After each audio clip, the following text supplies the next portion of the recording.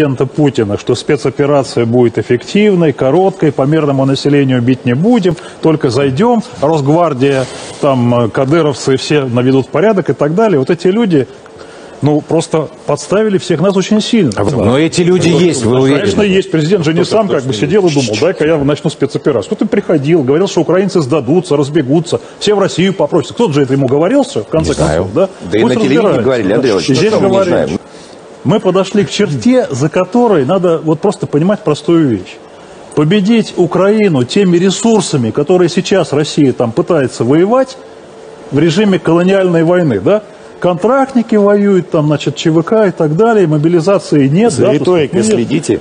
Ну, это невозможно абсолютно, потому что российской армии там противостоит вообще сильная армия, которая по полной программе поддерживает сильнейшее в экономическом, технологическом отношении государство, Европу, да, в То частности. есть вы предлагаете Америку. Вот. мобилизацию провести, Слушайте, военную вот я могу сказать мобилизацию, следующее. не Мое мобилизацию там вы сознания или Начать экономики? переговоры о прекращении А, войны понятно, и да. перейти Вы к с Николаем Игоревичем это постоянно чем Давайте, Сергей дело? Сергей Да. Михайлович, начать переговоры или действовать так, как вот Богдан Анатольевич предлагает? никаких с э, нацистским режимом Зеленского быть не может.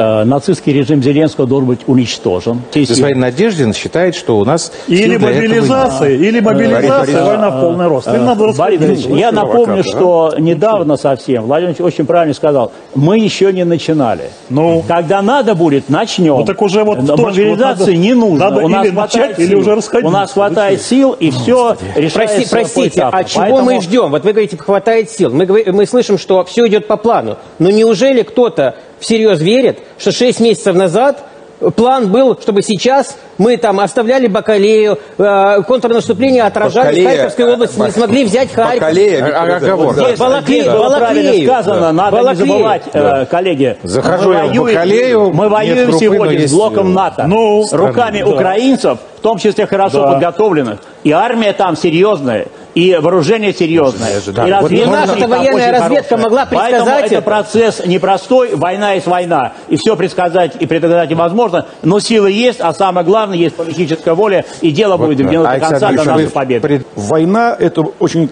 комплексное понятие. И там есть и политическая, и есть психологическая составляющая. Вот нам за последние несколько дней нанесли очень чувствительный психологический удар.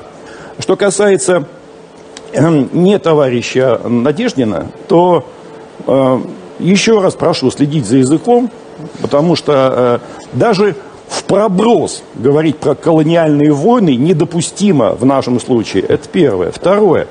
Э, Для, э, вы политик с таким большим стажем, неужели не можете подняться на одну голову и окинуть весь театр военных действий, а он включает в себя Западную Европу и США? Или вот вы действительно думаете понял. из того, что вы говорите, что мы там протырились через границу и пытаемся отгрызть себе кусочек территории? Идет глобальная война, это ее фрагмент, и именно отсюда э, надо исход- из этого исходить Слушайте, для того, чтобы... глобальная война, я надеюсь, Поэтому- не начнется. А вот если она еще начнется, Поэтому то Она соотношение уже сил будет идет. точно не в нашу Она пользу. уже так, на идет. секунду. Есть две теории, как вот со всем этим можно бороться. Первые говорят, что нужно просто жестче работать на освобожденных территориях, СМЕРШ, выявление каких-то диверсантов и так далее, и так далее. Вторые говорят нам, что этого мало, и нужно на территории, собственно, с которой отправляют этих террористов, территории государства Украины, делать что-то, что отрезвит людей, отправляющих этих террористов. Ваша, ваш принцип какой? Первый, второй или Я какой думаю, третий? что ни первый, ни второй случай не поможет э, обеспечить в полной степени безопасность. И вот эти акты, эти преступления попрежнему, ну, по- по- будут э, совершаться вне зависимости от того, насколько, так сказать, жестко будет действовать СМЕРШ. То есть вы хотите сказать, что это с нами навсегда? Вы, вы, вы сейчас говорите, что это не остановить? На очень долго.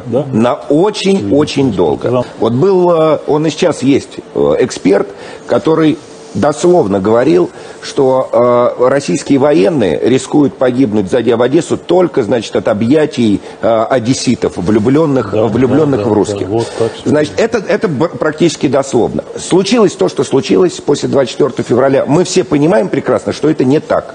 Что одесситы не хотят э, обнимать э, русских военных. И этот же самый эксперт сегодня, вчера, позавчера и завтра на федеральном телеканале говорит, э, надо идти до конца, надо, надо идти до конца и так далее. Я задаюсь вопросом, если эта экспертиза, этот анализ в первом случае был не просто ошибочен, а, можно сказать, преступно ошибочен, да, катастрофичен.